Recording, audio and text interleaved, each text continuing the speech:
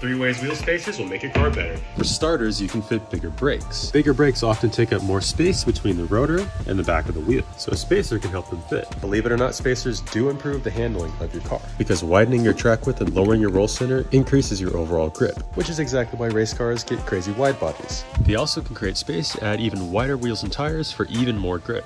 But most importantly, they help you get perfect fitment.